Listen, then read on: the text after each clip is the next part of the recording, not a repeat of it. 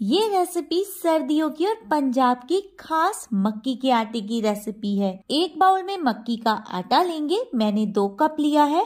आधा छोटा चम्मच नमक और बारीक कटा हरा धनिया डालकर मिक्स करेंगे। हरे धनिया से ये देखने में बहुत अच्छा लगेगा और इसका टेस्ट भी बहुत अच्छा आता है। आप इसे बिना हरे धनिया के भी बना सकते हैं। अब इसमें थोड़ा थोड़ा गर्म पानी डालेंगे और हाथों से इस तरह से मिक्स करते हुए इसका आटा गूंद लेंगे। पानी थोड़ा थोड़ा करके ही डालें ताकि आटा ढीला ना हो।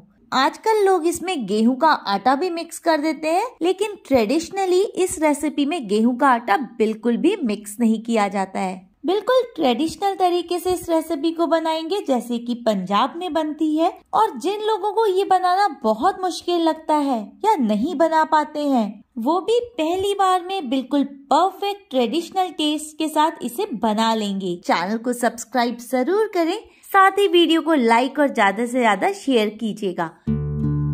इस दो कप आटे को गूंदने के लिए मुझे एक कप से थोड़ा ज़्यादा पानी लगा है। आटा गूंदने के बाद आप पॉलिथीन लेंगे इस टाइप की। ये कपड़ों की पॉलिथीन है। इसे दो हिस्सों में काट कर लिया है। अब इसे चकले पर रखेंगे और इस पर थोड़ा सा ऑयल या घी लगाएँगे ताकि मक्की का आटा चिपके नहीं।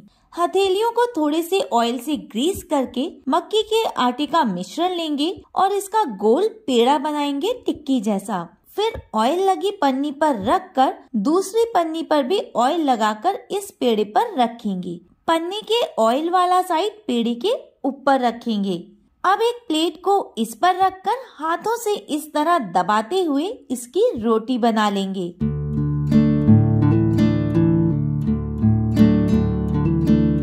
प्लेट हटाकर थोड़ा सा उंगलियों से सेट करेंगे।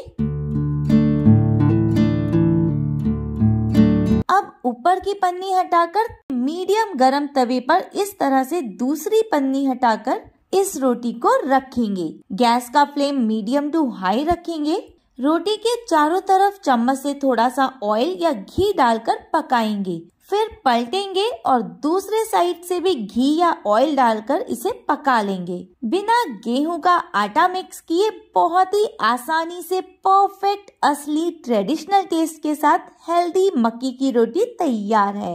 एक बार इसे मेरे तरीके से ज़रूर बनाएँ। हर रोज बनाना चाहेंगे और गारंटी है कि पहली बार में ही बिल्कुल परफेक्ट बनेगी।